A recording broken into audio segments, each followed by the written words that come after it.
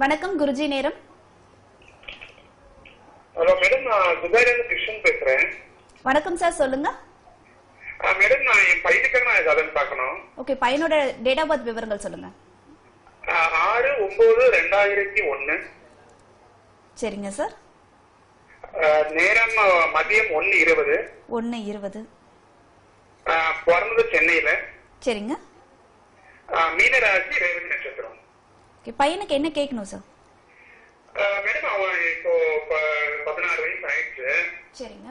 ஆறு ஒன்பது ரெண்டாயிரத்தி ஒண்ணா சென்னையில படிச்சுட்டு இருக்கான் நான் துபாயில இருக்கேன். ஆறு ஒன்பது இரண்டாயிரத்தி ஒன்று ஐயா. மத்தியானம் இரண்டாயிரத்தி எத்தனை எத்தனை மணிக்கு பிறந்தா? ஒன்று இருபதுங்க ஐயா மதியம். மதியம் ஒன்று இருபது. எங்கேருந்து பேசுறீங்க? நான் துபாயில பேசுறேங்க. துபாயில இருந்தா? ஓ துபாயில தெரியுது இல்ல, வின் டிவி தெரியும் இல்லையா? ஆமாங்க. ஆ துபாயில இருந்து பேசுறீங்க. மதியம் ஒன்று இருபது. இப்போ என்ன பண்றாரு பையன்? இப்போ லெவன்த் படிக்கிறாரு சென்னையில படிக்கிறாரு. சரி. சார் ஆக்சுவலா அவன் வந்து பதினஞ்சு வருஷம் இங்கதான் இருந்தான். ஒன் ஒன் இயர் இருக்கும்போது நான் அவனை கூட்டு வந்தேன் துபாய்க்கு. சரி. ஒரு வேலையில எனக்கு வேலை பிரச்சனை அவனை நான் சென்னைக்கு அனுப்பிச்சிட்டேன். இப்போ லெவன்த் படிக்கிறான் காமர்ஸ் குரூப்ல படிக்கிறான். சரி. இப்போ எப்- எப்போ அவன் படி முடிப்பான்? அவன் எங்க படி முடிச்சுட்டு அவன் வந்து வெளிநாடு போவானா? இல்லைன்னா சென்னையிலேயே அவன் இந்தியாவிலே வேலை பண்ணுவானா? சரி. இப்போ காமர்ஸ் என்ன மேல்படி படிக்கலாம் எம்பிஏ படிக்கலாமா சிஏ படிக்கலாமா தனுசு லக்கணப்படி தனுசு லக்கணம் மீன ராசி ரேவதி நட்சத்திரம் உங்களுடைய மகன்.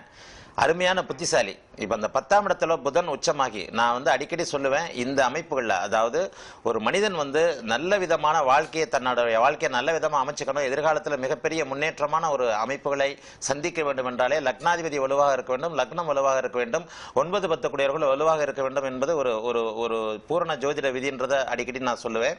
அந்த அமைப்பின்படி தனுசு லக்னமாகி குரு வந்து ஏழாம் இடத்துல உட்காந்து லக்னத்தை பார்க்கிறார். ஒன்பது பத்து கூடிய சூரிய சந்த- சூரிய புதன் ஆட்சி உச்சமாக இருக்கிறாங்க. ஒன்பது பத்தாம் இடங்கள்ல. இது வந்து தர்மகர்மாதிபதியாகும்னு சொல்லுவோம். இன்னொன்று சதுர்கேந்திர யோகம் என்று சொல்லப்படக்கூடிய லக்னத்தில் செவ்வாய் நான்கில் சந்திரன் ஏழில் குரு பத்தில் புதன் அப்படின்னு சொல்லப்படக்கூடிய நான்கு கேந்திரங்கள்லையும் சதுர்கேந்திர யோகம்னு சொல்லுவோம். ஒரு மனிதருடைய ஜாதகத்துல அந்த நான்கு கேந்திரங்கள்லையும் யோக கிரகங்கள் அமைஞ்சிருந்தாலே அவருடைய வாழ்க்கை மிகச்சிறந்த ஒரு நல்ல வாழ்க்கையாக அமையும். தற்போது கடகத்தில் இருக்கின்ற சுக்கர தசை அதாவது கடகம் வந்து வெளிநாட்டை குறிக்கிற ஒரு ராசி.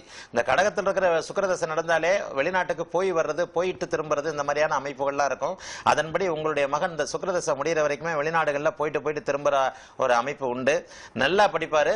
சிஏ நீங்க சொன்னது மாதிரி இந்த இந்த அமைப்புகளில் தான் இருப்பார். புதனுடைய அறிவு சார்ந்த துறைகளில் கணக்கு அக்கௌண்ட்டு ஆடிட்டிங்கு இந்த மாதிரியான விஷயங்கள்ல தான். புத்தகம் பேப்பர் ஜேர்னலிசம் அறிவு சாஃப்ட்வேர் அறிவு சார்ந்த துறைகளில் தான் இருப்பார். இந்த அமைப்பின்படி நீங்க சொன்ன இந்த சிஏ வந்து உறுதியாக படிப்பார்.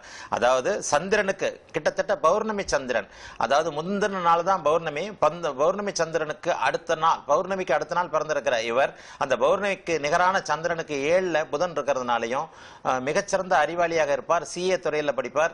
எதிர்காலத்தில் சுக்கிரதசைக்கு பிறகு நீடித்து வந்து வெளிநாட்டில் இருக்க முடியாது. கொஞ்சம் இந்தியா இந்த மாதிரியான அமைப்புகளில் தான் இருப்பார். இருபது வருஷம் சுக்கிரதசை நடந்து முடிஞ்சதுக்கப்புறம் இந்திய தொடர்புகள் தான் அதிகமாக ஏற்படும்.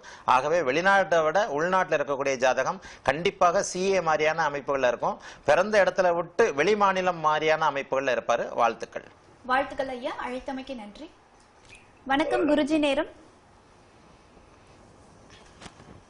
வணக்கம் குருஜி நேரம். இணைப்புல இருக்கீங்க சார்? வணக்கம் குருஜி நேரம். வணக்கம் சார். வணக்கம் சார். எங்க இருந்து அழைக்கிறீங்க காஞ்சிபுரத்துல இருந்து சரவணன். யாருக்காக பார்க்கணும் சார்? எனக்கு அதுதான். உங்களோட டேட் ஆஃப் பர்த் விவரங்கள் சொல்லுங்க சார். இருபத்தி ஏழு இருபத்தி ஏழு நாலு நான்கு ஆயிரத்தி தொள்ளாயிரத்தி தொண்ணூத்தி மூணு. தொண்ணூத்தி மூன்று. இருபத்தி ஏழு நான்கு ஆயிரத்தி தொள்ளாயிரத்தி தொண்ணூத்தி மூன்று. பிறந்த நேரம் சொல்லுங்க. காலை ஏழு நாற்பது. ஏழு நாற்பது. ராசி நட்சத்திரம் சொல்லுங்க ஐயா. மிதுன ராசி என்ன சந்தேகங்கள் கேட்கணுங்க ஐயா? வேலைக்கு மிதுன ராசி என்ன நட்சத்திரங்க ஐயா? நட்சத்திரம் ஐயா? நட்சத்திரம்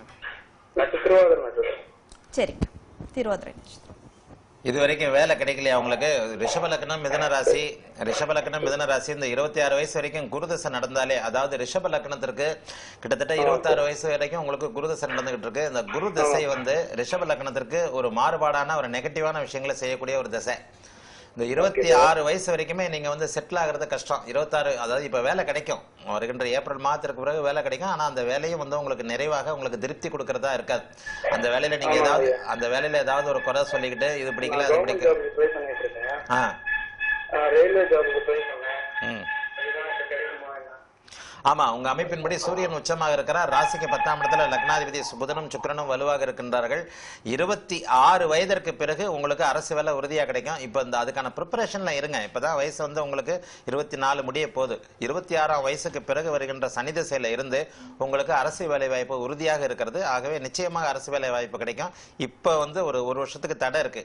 அதனால நான் சொன்ன அந்த பீரியட் வரைக்கும் குருதசை முடிகிற வரைக்கும் அந்த எக்ஸாம் பரீட்சை எழுதுறது அந்த பரீட்சைக்காக தயாராவது போன்ற விஷயங்கள்ல இருங்க. வாழ்த்துக்கள். உறுதியாக அரசு வேலை கிடைக்கும். வாழ்த்துக்கள் ஐயா. அழைத்தமைக்கு நன்றி.